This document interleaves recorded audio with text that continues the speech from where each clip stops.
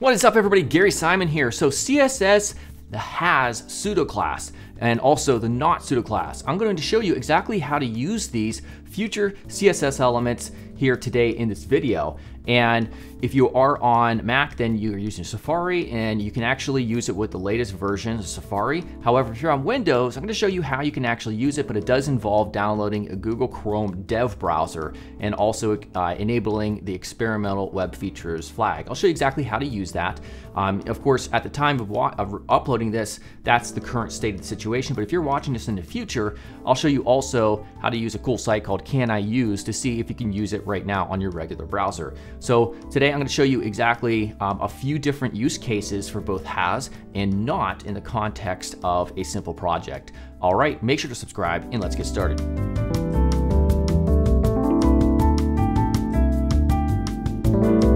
Now, chances are if you're watching this video, you probably want to be a better designer. And if that's the case, how much do you really want it? Because at designcourse.com, I've created a UI UX course that will help you go from designing layouts that I might rate a four or five up to eight and beyond. But more important than that, as a better designer, this means that you can land higher paying clients and jobs. This course includes over 16 hours of video, 40 interactive UI design tests, and even mentorship where I personally take a look at your work that you submit, I review it, and many times I also revise it, providing you with great feedback to help you become a better designer. Now, for this video, I want you to use the coupon code UI2022, and that will give you 22% off at checkout. All right, so if you're watching this, I want you to check out caniuse.com forward slash CSS hyphen has. And it's gonna let us know currently um, what browsers allow this to run. Now you can see if we look at Chrome and you're on Windows, by the way, if you're on Safari, you can use the latest version. Uh, it'll be safar uh. It'll be supported at this point. Um, however, if you're on Windows, we can see currently, in my case, uh, there's a little flag right here in Chrome uh, if, on, if you only use Firefox, you're SOL, uh, so forget about that. But Chrome um, right here, it is uh, it can be enabled via the experimental web platform feature and also um, Chrome version 101-102. So if you type in um, Google Chrome DevTools, uh, you could just download that and install it, and then make sure you actually run it. Uh, you hit your Windows key and just type uh, Google. You'll see Google Chrome Dev. It's uh, right here actually, and um, after that, you'll have to go to, um, let's go to my Chrome dev. There it is. Um, type in Chrome flags right there. All right. And then right there, um, type in experimental web and you should see this option right here and just choose enabled and then that it that way it should work. Now I did run into an issue when I was using live server.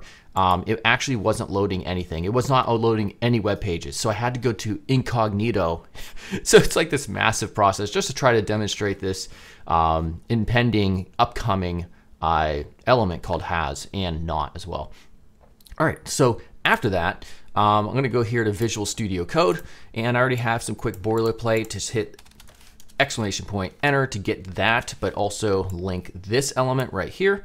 Um, I've created a folder called CSS. Inside of it, we have main.sass. So I'm watching that with the live Sass uh, compiler. So if we just type in live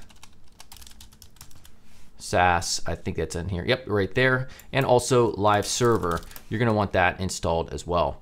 Um, so I right clicked, open with live server. Now, however, it's going to open up your default browser. You want to make sure that you copy and paste the URL into the actual dev um, version of Chrome for this to work. Okay, enough rambling. So I'm gonna go through the HTML real fast. In fact, because it's not really the, the purpose of the tutorial, I'm just gonna paste in some things. Um, we're gonna have three different cards and I'm going to make it simply an adjustment on one of them. So first of all, we're gonna have a container that holds all three. We're gonna put them in three columns and I have right here a card. So inside a card, we have um, this uh, paragraph here, standard $29, a description, and then a buy standard uh, option right there. So I'm just gonna copy this and paste it two more times, but we're gonna make a slight adjustment.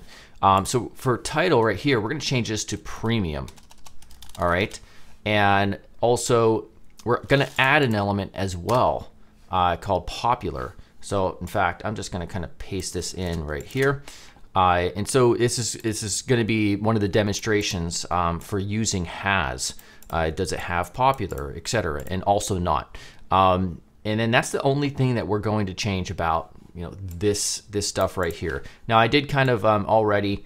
Um, I created all this kind of like mostly for the most part it's already custom, so I'm just going to paste that in. I just wanted to quickly describe it. Sass. All right, let's get to the CSS. Now, of course, we have basic boilerplate CSS. So we have the body, display grid, place content center, just to get uh, all those cards centered um, in the middle, background right here in a font family need to already have that installed. Um, we're going to take our container, display flex, give it a gap of one em unit. So that's going to uh, give a white space between uh, each column right here. And I'm setting a max width as well. Um, we're also going to have our cards, so we're styling our cards as well. And let me just close that up. So simple, you know, just giving the background of white, border radius, padding, text align center. Um, we are also going to style our text elements. Nothing pertinent to the purpose of this tutorial is happening yet. We're just styling stuff.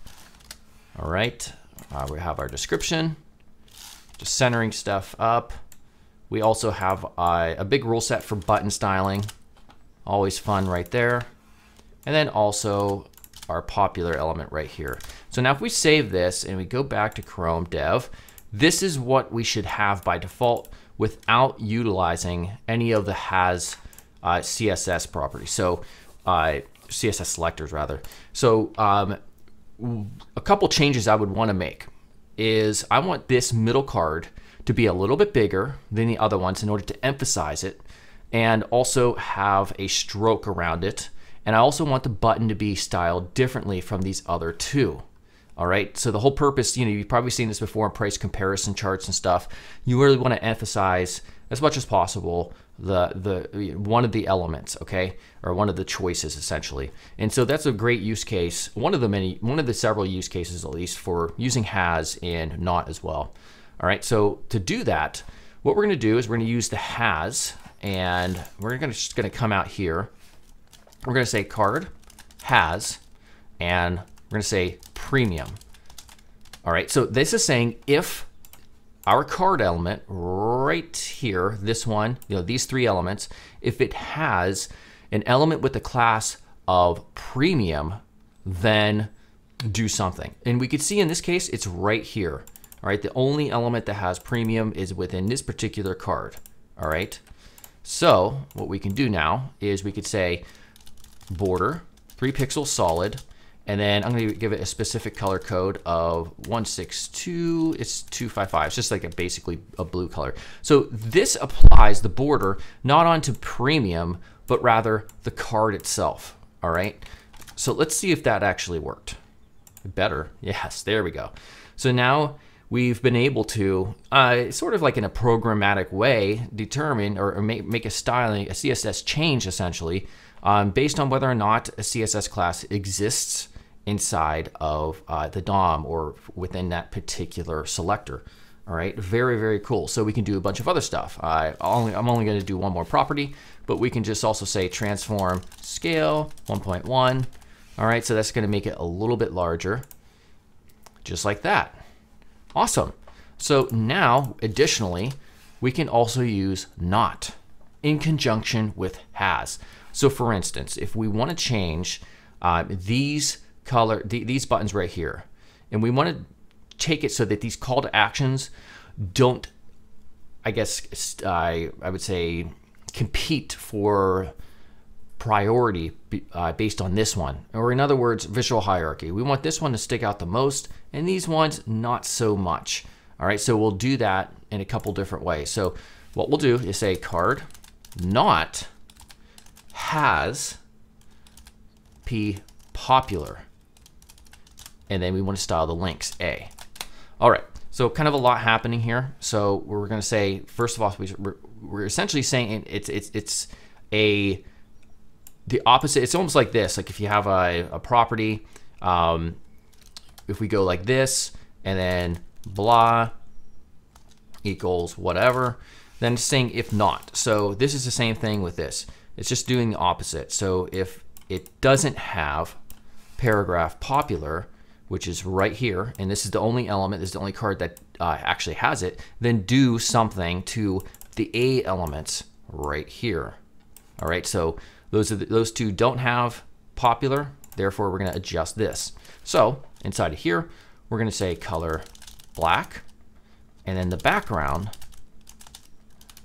we're gonna put 213, 221, and 235. So if we save that, you're gonna see that they don't compete for as much attention to the eye because we've made them the back the background of the button uh, a lot less contrast compared to the background, the white background on which it's sitting. And we just also, uh, to make sure for readability, we change the text or the color to black. Okay, so you can do that same thing again. Let's say, for instance, you think there's too much white space down here underneath these because this right here doesn't exist up here to push it down. Well, we can add margin or padding, depending. Yeah, we're gonna add a margin top. So same thing, card not has popular. And then we want to uh, take our P price and add margin top 0.5 em units. So again, price occurs right here, and we're just going to push uh, itself away or down essentially from the title. And that's going to help this situation right here where we now have a pretty good equal amount of white space from the top and bottom. And that is it. All right, everybody. Hopefully you enjoyed that. Make sure to subscribe if you haven't yet. Check out designcourse.com and I'll see you soon. Goodbye.